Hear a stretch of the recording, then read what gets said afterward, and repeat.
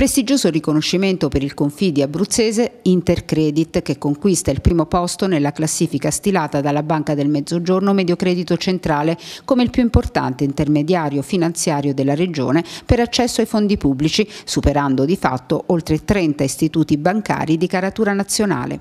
Intercredit, attraverso la propria certificazione del merito creditizio presso il Mediocredito, tra il 2009 e il 2017 ha attivato la controgaranzia del Fondo Centrale facendo accogliere ed erogare finanziamenti agevolati per oltre 142 milioni di euro a favore di 1770 imprese abruzzesi.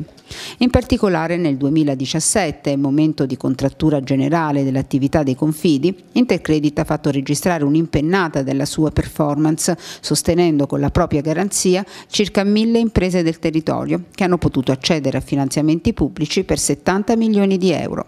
La tipologia di queste imprese offre uno spaccato sociale ed economico dell'Abruzzo. Il 50% delle richieste è arrivato da start-up operanti nel settore del commercio.